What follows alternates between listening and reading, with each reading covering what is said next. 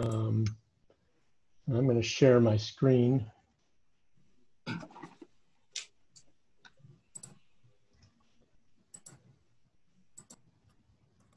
Are we ready to begin? We are begun. All right. Welcome But to, uh, David, hang on one second. You can't Yes, sir. see my screen yet, right? I can No, see it. I can see it. You can see can see the uh, the BAR. Yes, Lo- the introductory, introductory slide. Right. Okay. All right. Well, then we're good to go. And then make it, Dennis, you'll want to make it full screen. Oh yeah. Right. All right, everyone, welcome to the July 22nd, 2020 BAR Large Virtual Meeting. My name is David Hazelden. The other board members present this afternoon are James Metter, Jay White, John Scott, and Ms. Luda Sobchak. City staff present, City Architect Dennis Dowd and Alex Howell. The, the order of the meeting will be as follows. There will be an introduction, an overview of each project by the city staff to the board and for the public. Uh, Following that will be applicant presentation. This will be limited to a 10-minute presentation. Um, Additional time may be given by the chair. Any questions of the applicant by the board or staff can be addressed at that time. Any and all presenters should clearly state your name for the record. Any persons affiliated with a project, owners, developers, designers, consultants, etc., speak during this time period and portion of the um, presentation rather than the public comment portion. Um, Following the applicant presentation will be that public comment uh, time period, which will be limited to the equivalent of the applicant's presentation. Uh, Anybody speaking during the public comment presentation, please clearly state your name for the record um, so that we know who is speaking. City staff will then make comments and recommendations. Um, Following those will be an applicant response or clarification public comment and city staff comments and recommendations. This will be limited um, only to five minutes. Uh, Following that will be board discussion and vote. Following items have been withdrawn or deferred. Number two, 54 St. Phillips, and number five, 2 Wharfside. Uh, Please turn off any cell phones and um, any other devices, and please remember to limit comments to architecture only. Are there any comments from anybody before we begin? Yeah, I'd like to jump in very quickly and um, and acknowledge a, a milestone event, uh, not only in the life of the City of Charleston Board of Architectural Review, but in the life and career of Dennis Dowd, our city architect. As many of y'all know, uh, Dennis will be retiring in August, and so this is his last appearance with us at BAR Large, and uh, that's worthy of recognition. Uh, Dennis has been in this position for a decade, and it's been one of the most um, intense and important decades in the modern history of the city. Dennis, you've been a huge part of that. And, you know, I know everybody on the board uh, wishes to commend you for a successful retirement, but on a personal note, you know, I've you and I have worked together for eight years on this board, and then professionally otherwise, and it's always been a pleasure for me. Uh, you've done a great job. You have every reason to be proud of the contribution you've made to the history of Charleston and the architecture of Charleston. And I'm proud to have worked with you. And I just want to say, job well done.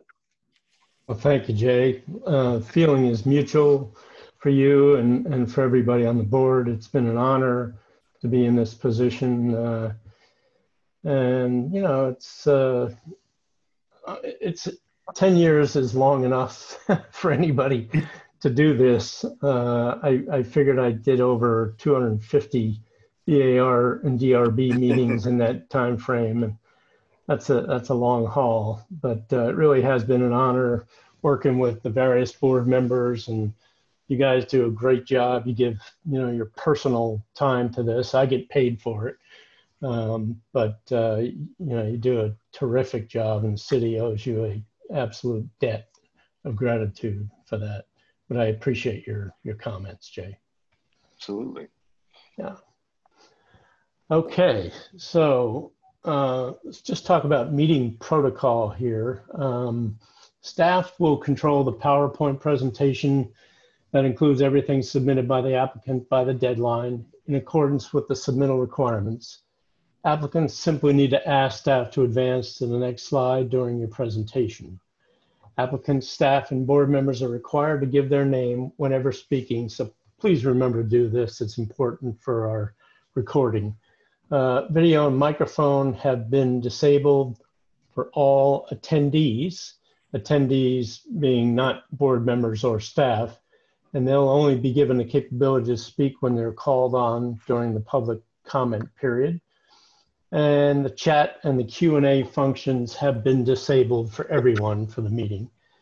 Uh, during the public comment period, the applicants, including all team members and the public, have been required to register indicating the project they wish to comment on and submit any documents in advance of the meeting.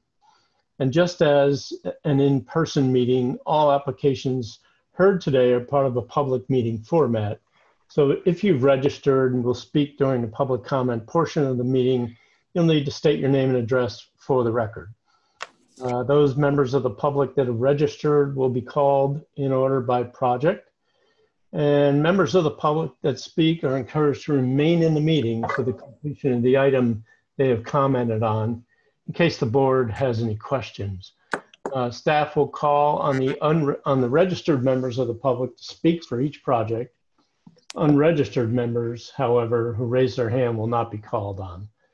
Uh, we'd ask the board members should open the participants panel so that each board member can see the status of other board members' microphones and cameras. Board members will be polled by the chair for their vote on a motion. Each member, when voting, should respond yay in favor or nay, not in favor. And the chairman shall reread the motion verbatim, and the board member making the motion should correct the chairman if he's not reread the motion accurately. If a board member needs to recuse, he will be temporarily removed from the meeting and placed back in the meeting at the start of the next agenda item. If the board needs to go into executive session, they'll call into a separate conference line and all video and audio on Zoom will be temporarily turned off until they're ready to return to the regular meeting. That rarely happens. Um, we will issue, staff will issue meeting results, including staff comments and board motion to the applicant following the meeting. And those results will also be on the city website. Uh, and then for additional information, you can contact BAR at charleston-sc.gov or visit the city website. And finally, these proceedings are being recorded. And the first item on the agenda is approval of the minutes from the February 12th, 2020 meeting. Uh, Mr. Chairman, I've reviewed those minutes and have no modifications to offer. All right. I So- second that. I will, yeah, I'll move for, I'll move for approval as submitted. That's a motion for approval as submitted by Mr. White. Is there a second? I second. I second. second. All right, seconded by, I believe, Mr. Mutter. I believe it was Mr. Scott. It Was was, it yeah, Mr. Scott? I, I heard him, I think I heard them both at the same time. So both at the second same by. Mr. Leon Scott. Yeah. All right, so Mr. Metters, how do you vote? Uh, Aye in favor. All right, Mr. Scott, how do you vote? in favor. Uh, Ms. Sobchak, how do you vote? Yay in favor. And Mr. White, how do you vote? Yay in favor. And David Hazelton, yay in favor. The motion carries five to zero. Okay, next up is 54 St. Philip Street. Uh, I think Mr. White has to recuse on this, Alex, if you can remove him from the meeting temporarily.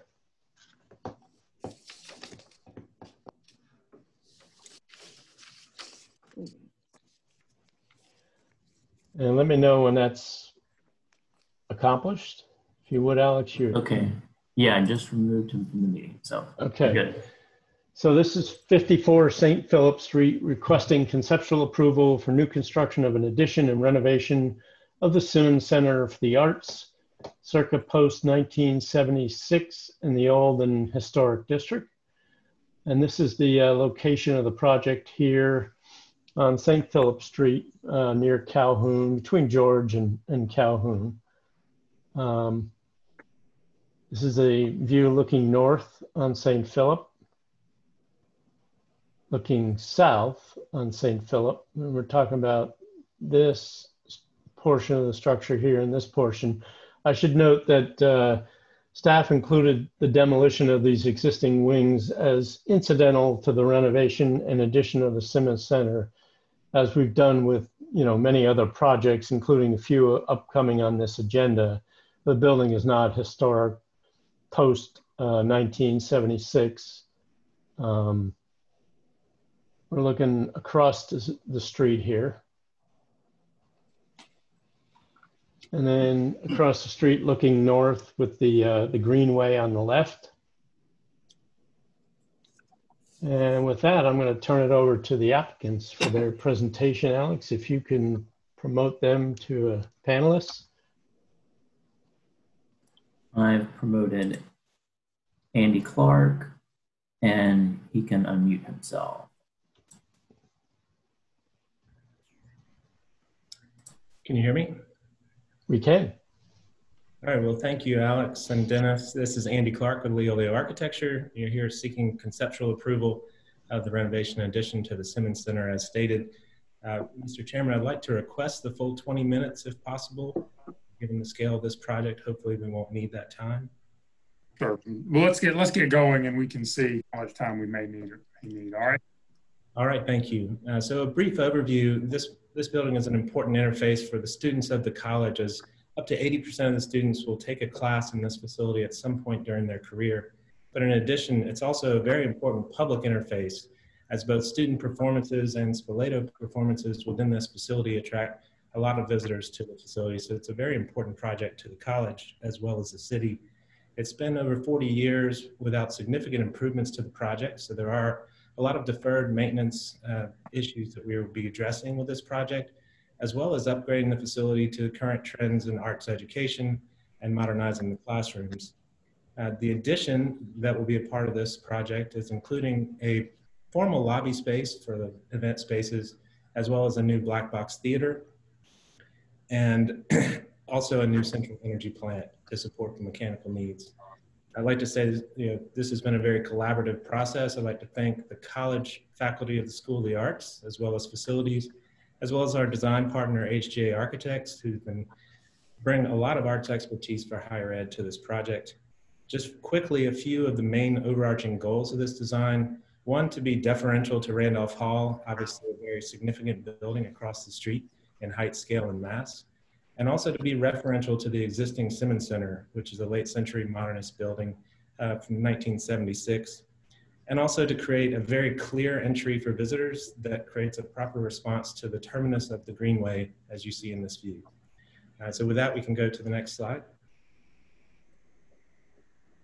Very briefly touch on the agenda for this presentation, go through the Sanborn maps and history of the site, and then through some of the demo plans, and then finally the proposed plans and renderings. And moving on. So starting with the Sanborn maps, you can see from 1888 to 1944, very little change in the immediate site. But what you do see is across the street, Randolph Hall going from a very modest college building into expanding over the years into the significant building and yard that it is today. And on the next slide, you start to see, as we get into the 50s, some of the smaller buildings on this site have started to go away and the college is starting to expand. On the right, you see the Simons Center overlaid on that 55 Sanborn map. And then we'll move into the immediate site and you can start to see some of those buildings, historic buildings starting to go away in the 50s, uh, the evolution of the synagogue on the Cato Center site fronting Calhoun Street.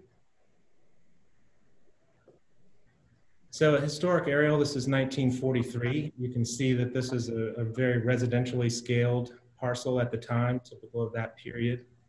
And then as you move into the next slide, 1993, you can see the Simons Center has been added, as well as some other higher density buildings for the college. And then finally, the current aerial shows the addition of the Cato Center that fronts Calhoun Street.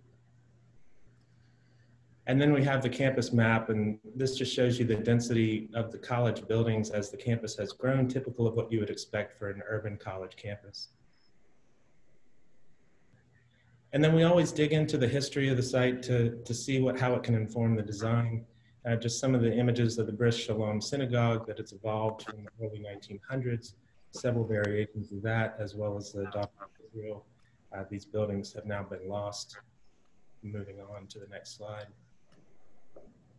And in the 70s, the college really started to expand. And you can see our site highlighted in the white. In the upper left corner, you can see the start of the construction of the Robert Scott Smalls Library. And on the next slide, you see another view of that library construction. And now on the top of the screen, you can see the parking area that was sitting on the Simons Center site that is today. And on the next slide, I think you see the Rhodes Furniture parking. And if you look in the background, you can see the fence to the cistern yard beyond. Hey, there's my car. And then in 73, the college began Maybank Hall construction, which completed the other side of Cougar Mall as we know it today, which is a very popular student destination. You see our site in the lower left corner here. And then moving into the Simons Center constructions from the late 70s, you can see it's a very modern traditional steel frame structure with infill metal studs.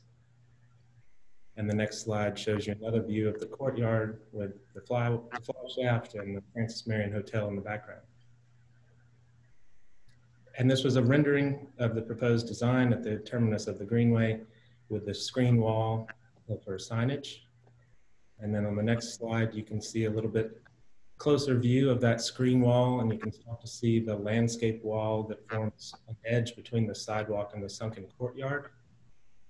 And on the next slide, you see an aerial view that shows how that landscape wall and landscaping divides the pedestrian from the sunken courtyard as it exists today. Some existing photos. This is from the Greenway on the top as you approach. And one of the things we notice is that the screen wall there is a little bit off center and there's a column at the And on the bottom two images, you see a view looking south on St. Philip and looking back north. On the next slide, we get into the photos from Randolph Hall. And this is within the cistern yard. And obviously it's a very heavily landscaped, beautiful area. On the northern end of the cistern yard, there's an opaque wall. So the Simons Center is visible slightly through the trees, um, but it is a little bit obscured. And on the next slide, we show some more photos of the existing courtyard. Being a sunken courtyard in Charleston, they have experienced frequent flooding in this courtyard, uh, which has caused some maintenance issues and has been underutilized because of that fact. So those are some of the things we'll try to address in the design. And then an aerial of the site showing the Greenway, Cougar Mall, St. Philip, and building situated between Calhoun and George Street. And then we'll go into some existing site diagrams. And as we started to study this, we, we looked at the axes. On the next slide, you can see the axes and the entry points. Uh, there are five existing entry points, as you see by those five red arrows, uh, but none of them are really designated as the main entry point and none of them arrive at some kind of public lobby. Uh, so that's one of the things. On the next slide, see the pedestrian circulation. And you can see as you approach from the Greenway, you reach that wall and you have to turn to go around to go into the building. And so we want to try to create a more intentional terminus of that Greenway. On the next slide, I think you'll see as the building has been reoriented, you terminate right into a canopy that leads you into the new lobby space. Okay, next slide. So this shows the proposed diagrams. Uh, there are two additions. I'll start with the three-story addition on the top of the screen. That's adjacent to the fire lane, and that's twofold purpose for that. One, one wanted to get more program away from St. Philip Street and away from Randolph Hall. Uh, it's also to support a central energy plant. So by adding a third floor above the existing two-story portion, we're able to keep the volumes on St. Philip Street to two stories and tuck the mechanical systems out of view from the public way. The two-story renovation and addition along St. Philip Street allow for the new black box theater and allow the courtyard to stay as a terminus to the Greenway. And then the vehicular circulation study, it is currently one way in St. Philip Street. We understand that there's potential for that to change to two-way in the future. And then on the east side, top of the screen, is the fire lane access on the back for the loading area to the sculpture studio. These next slides just were included for reference. So Alex, we can skip through these very quickly. Uh, floor plans provided for reference. If you can go to the demo plans and we can briefly talk about those. So here are the demolition level one. So the hatched areas show you the areas of demolition and then the red dashed lines show you more interior demolition for the renovation portion. As you go up to the second floor, you can see Again, the two hatched areas that are the full demolition, with the remainder being interior demolition for renovation purposes. And then on the third floor, you can Andy, see. is, is this not part of the second? floor? Yes, so, not- so that area is demolition of the walls, but retaining the structure. So Okay. that's why it's not hatched. Okay, Thank you. On level three, you see the two low roofs hatched to be removed and some interior renovations. And then on level four, it's all interior renovations to reconfigure the spaces. And then up to the high roof plan, the three high roofs remain as is. So then moving to the landscape plan, this is in collaboration with Outdoor Spatial Design. Uh, the main purpose of the landscape design is to bring the courtyard up to grade and provide direct access from the sidewalk into the courtyard. Uh, providing some trees for shade during the hot months, using a, a native plant palette and having seasonal varieties of those, providing bench seating for student collaboration and, and an urban space, as well as permeable pavers to improve the stormwater. I'll note that this design has progressed and we're continuing to progress that uh, in the last three months and look forward to developing that further into the next submittal. Andy, I'll let you know that you're 10 minutes in at this point. Okay, thank you. Welcome. Uh, we can go quickly through the floor plans, the overall first floor plan. On the next page, you can see a zoom in to the black box and lobby as you enter through the new courtyard into the lobby space and the black box theater on your left. And then on the next slide, you can see the south end of the first floor, the pink area being two new active learning classrooms for the arts management department, as well as a laptop bar that can double as a box office for events in the lobby space. Next, you can go to the overall second floor plan and move to the zoom in. You can see the black box is open to below, a costume shop adjacent to that. And on the next slide, more traditional classrooms for the art history department in the yellow, as well as a theater design studio in the purple to the right. And as you go up to the third floor, you can zoom in to the next slide. The upper left portion is the new, where you have two new music classrooms, as well as a drawing and painting classroom in green with independent study areas. And on the next slide, you see a renovation of the art history lecture hall, as well ah. as repurposing art history faculty offices and seminar spaces. The fourth floor, you can go to the next slide. The north tower is the new printmaking suite being completely repurposed. And then on the next, and also the central energy plant is there above that. And on the south end, the arts management faculty recording booth, seminar and collaboration areas. So here you see the roof plan. The hatched area is the existing and the white area is the new. Moving to the next slide, you can go through these two enlargements. And you can go through, these were the existing elevations, existing streetscape studies showing the scale of the proposed along St. Philip as two-story relative to the surrounding buildings, and then the opposite side of the street with the Greenway and Randolph Hall. And then the exterior finishes, the existing Simons Center is masonry, and that's what we're proposing as the primary uh, material for the new addition. We'd like it to be a complementary but differentiated brick color. We're going through many studies to determine what that best color is. Uh, powder coated aluminum fins for the sunshade at the lobby area. Uh, they're multicolored to reflect the arts inside. And then a glazed brick accent at the angled window returns, which is a, also as a reference to the existing Simons Center angled windows, but also a reference to the green shutters of Randolph Hall across the street. And then the color palette was very important. The city of Charleston and the college both have a history of, of bright desaturated colors. And so we've studied the immediate context of Randolph Hall and the Greenway to inform the color palette for those fins. And then we can quickly go through the exterior elevations, the black box theater. Next slide shows the classrooms along the south. And then the south elevation, the hatched area is existing Simons to remain with a two-story addition fronting St. Philip Street. And then an overall elevation of the alley. You can go to the enlarged, the existing fly shaft to remain and Robinson Theater, and then the rebuilt sculpture and scene shop with studios above with living access as well. Building sections quickly through the black box on the left, the scene shop on the right facing the alley with the existing Simons Center sandwiched in between. And then another section through the lobby and courtyard area with the Robinson Theater existing on the right. We did study the sight lines. We, we do not have any mechanical equipment in this area, but they are fairly well protected. And this is a bird's eye view showing the entire massing, the two-story portion fronting St. Philip Street and the taller version stepping back from the road.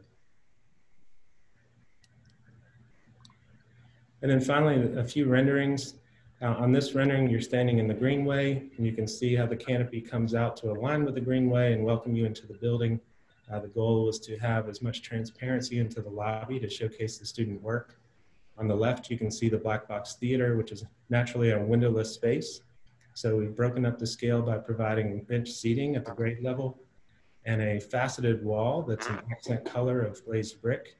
And that's a, a abstract reference to a stage curtain as the wall juts in and out. Um, Mr. Chairman, that's 15. I presume you want to give him more time. I- I'll give him about two minutes to wrap up. If- Okay, we've got three slides. getting left. towards the end of the presentation anyway. It sa- sounds like based on his comments. but- Yes, thank you. Uh, this view is looking north on St. Philip from near the cistern yard. Uh, one note to show here is that the angled windows uh, alternate from the first floor to the second floor. So those color accents of the glazed brick will allow pedestrians, whether hmm. they're walking north or south, to get a glimpse of color as they walk down the street.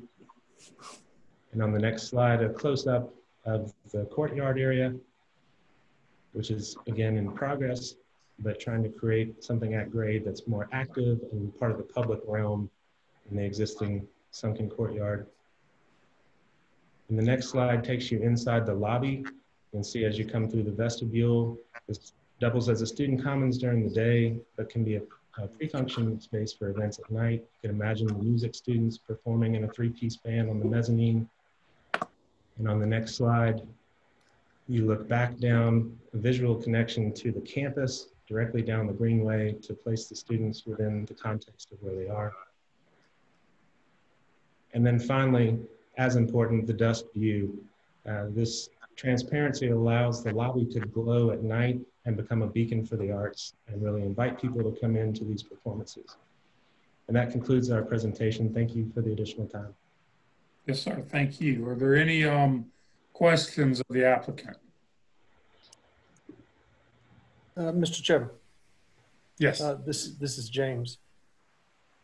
The reference to colors, Andy, on the existing structures throughout campus, I agree that those are uh, significant, not just to those structures, but to the campus itself.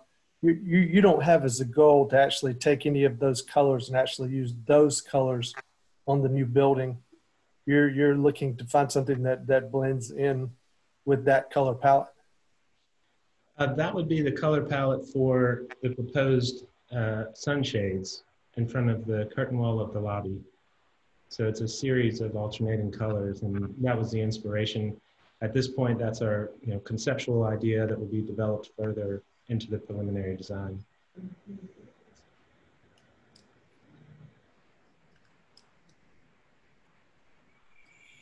Thank you. Are there any, any other questions? I have one, Mr. Chair. Um, Andy, do you plan to reincorporate the plaque on the existing St. Philip Street wall? Yes, we do. Uh, we've we've identified it, and we're studying ways that we can incorporate it intentionally, but haven't gotten to that level yet. Okay.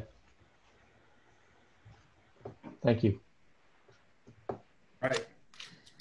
Any other questions? Hearing on public comment on this project? Yes, we have two speakers from the public. Um, we have Will Hamilton. I will turn on his microphone and he can unmute himself.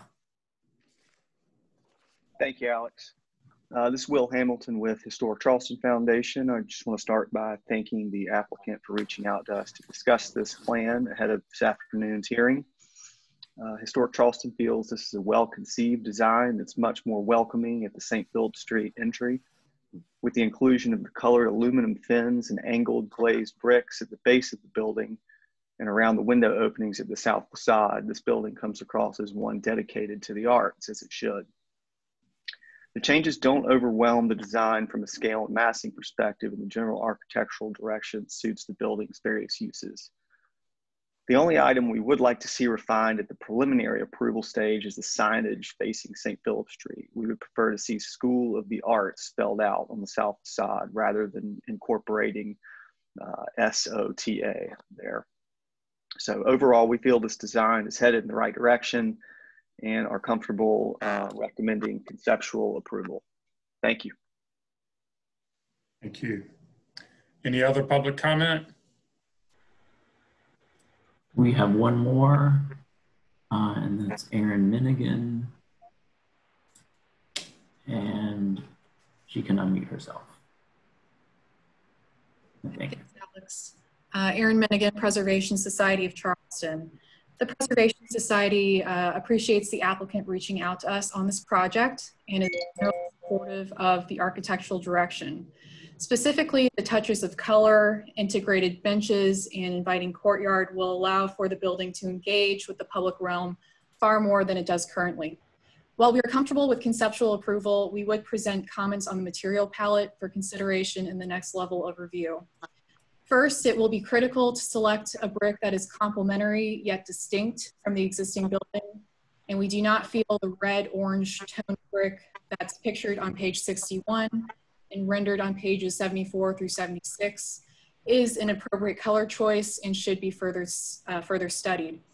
Also, we like the idea of the colorful fins at the entry, bringing warmth to an otherwise severe building and feel the materials uh, should support that.